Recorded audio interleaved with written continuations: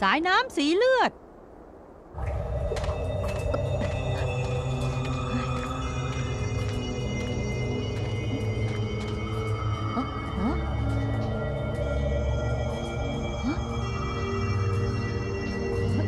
เลือด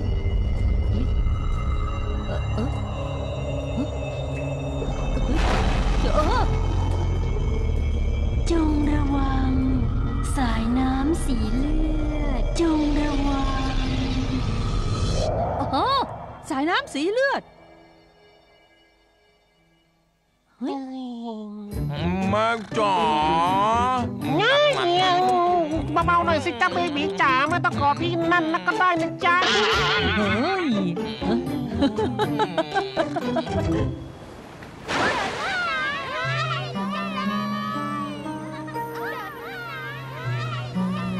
สายน้ำสีเลือดอืมทุเรศที่สุดเลยฮะว่าเป็นชายของฉันถูกทำลายป่นปีบีแบนป่นเจ้าบรูโด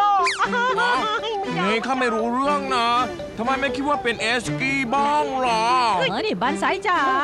มาให้จุ๊บจุ๊บหน่อยสิบ้าจุ๊โรบคจุ๊บจิตจะไม่ใช่ดอกไม้ริมทางเลยจะบอกให้โอ้ยโดดน้ำได้ดีกว่า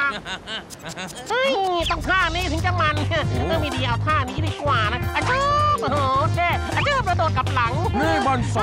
จะโดดท่าไหนพอลงน้ำมันก็เปียกเหมือนก่อนไม่ใช่หรอไม่เข้าใจคำว่าลีลาไหมเจ้าบูโน่แต่หัวทึมเย้ยเอะแม่น้ำเฮ้ยเอานะนะคอยดูนะเรียกของมันเปียกฮ่าฮ่าฮ่าฮ่าพุ่งละครับเดี๋ยวก่อนนะไอ้ไอ้จะกันตาตาตาตาตาตามาทำไมโอ้ยคอนกรีตเฮ้ย ลือดในชั้นหัวโนยต่างหากโอ้ในน้ำมีอะไรเหรอเมื่อน้ำเกลือแดงเพราะเลือดของฉันสินะเนี่ยไม่ห่วงกันเลยนะเนี่ยพวกแกเนี่ยเป็นโนโนบวมเลยนี่นั่นเหรอสายน้ำสีเลือดเลือดเหรอ ต้องมีอะไรบางอย่างที่ต้นน้ำแน่แน่ๆเลย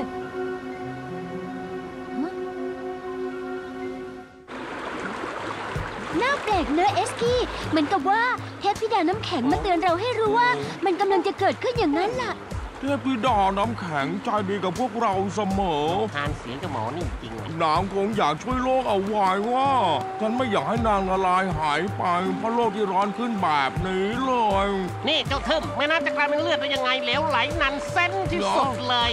โอ้ยแต่คิดยังเจ็บเจ็บๆอยู่นะเนี่ย น่าจะมีอะไรสักอย่างสินะฮะดูนั่นอะไรสิเหรอพ่อบอกโอ้ยจังป้าปะโถดีนะเนี่ยฉันดูหนังเจ็ดลีบ่อยได้หลบทันนะโถไม่ได้กินฉันเลยจะบอกให้ดีจังเลยนะว้าโอ้โหโอ้เลือดนี่ ไม่ใช่หรอกนี่มันสาหร่ายสีแดงต่างหากเล่าสาหร่ายสีแดงเหรอฮะมีสาหร่ายในน้ำมันก็ดีอยู่แล้วไม่ใช่เหรแต่อว่าสาหร่ายสีแดงแบบเนี้ยมันเป็นศัตรูตัวร้ายของน้ำซะมากกว่านะ ยิ่งมนุษย์ปล่อยของเสียลงแม่น้ำสาหร่ายสีแดงก็จะเพิ่มมากขึ้นตาม และเราก็จะไม่เหลือน้ำบริสุทธิ์ให้ได้ใช้อีกต่อไปเกยไม่มีน้ำแล้วเราจะอยู่ได้ยังไงอะ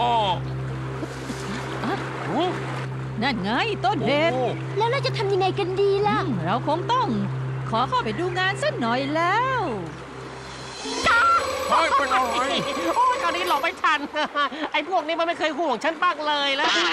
ไหนบอกว่าจะขอเข้าไปดูงานไงล่ะ เฮ้ย ถ้าขอเข้าไปแล้วจะเจออะไรดีๆ แบบนี้เหรอ นี่ดูสิ โอ้โห โอ้ย นี่มันสระว่ายน้ำของใครหรือเปล่าเนี่ย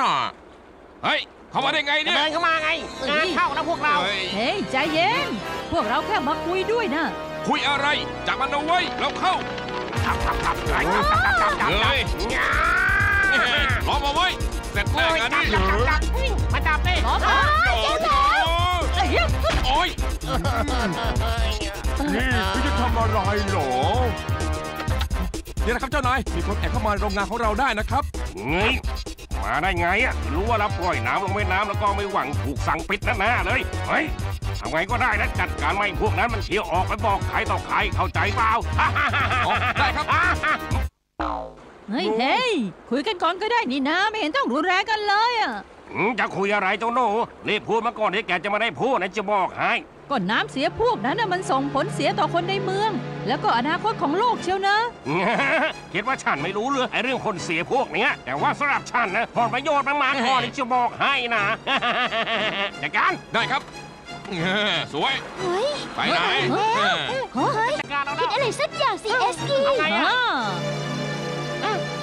มมันมองอะไรพี่อ๋อตั้งใจเป็นคนละมือไม่ละชิของกระจอกพวกนั้น คิดจะสู้ยังไงเหรอ ไอ้หนูพวกเราจัดการเลยไปจัดการสิอะนี่นะยูรู้จักไหมทาซานโอ้โหรับรับรับเจ้านายแหมาพวกแกนี่งี่เง่าที่สุดเจ้าพวกโง่เอ้ยเคยทำอะไรสำเร็จบ้างไหมเนี่ยฮะ เฮ้ยเจ็บใจที่สุดนะครับห้าสี่พวกนี้ เฮ้ยอุ้ยตายแล้วเออต้องมือฉันเลี้ยงไว้อะไรกันเนี่ยว่าให้ตั้งแต่ตกใต้ทุนว่าให้นับรำเงเป็นไงบ้างฮะ ผลประโยชน์มันหอม ชื่นใจหรือเปล่าฮะ ยอมแล้วพระมหาเจริญ ฉันยอมทุกอย่างนะ ช่วยฉันก็ไปทีได้ไหมเดี๋ยวตัวฉันเน่าได้โปรดเถอะได้โปรดเถอะเดี๋ยวเน่าเดี๋ยวเน่า สายน้ำกลับมาเหมือนเดิมแล้วฮะ เทพธิดาน้ำแข็ง แต่จากนี้ไปพวกเราก็ยังไม่รู้ว่าทางข้างหน้าจะเกิดอะไรขึ้นอีก แต่รับรองว่ามันต้องสำเร็จแน่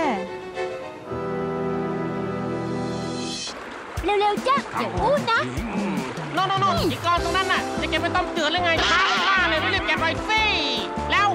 หน่อยฝากไว้ก่อนนะไอ้นกกระจอกเอ้ยเห็นสิ้นไว้ควาย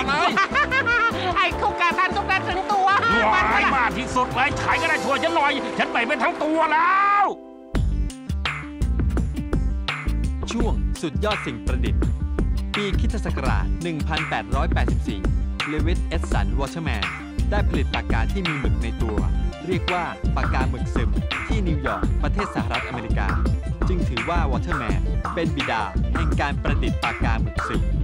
มีการคิดค้นพัฒนาปากกาชนิดนี้ ให้มีคุณภาพดียิ่งขึ้น สะดวกในการใช้งาน และมีรูปทรงสวยงาม ผลิตในระดับอุตสาหกรรม ทั้งในอเมริกา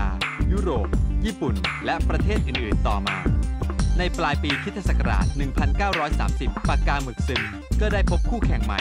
นั่นก็คือปากกาลูกลื่นที่มีลูกกลิ้งกลมๆ เล็ก ๆ อยู่ที่ปลายปาก ศิลปินชาวฮังการีนชื่อไบโร ได้ประดิษฐ์ปากกาลูกลื่นขึ้นมาใหม่ ไม่ต้องคอยเติมน้ำหมึกบ่อยๆ ให้เลอะเทอะ และเขียนได้คล่องกว่าปากกาหมึกซึม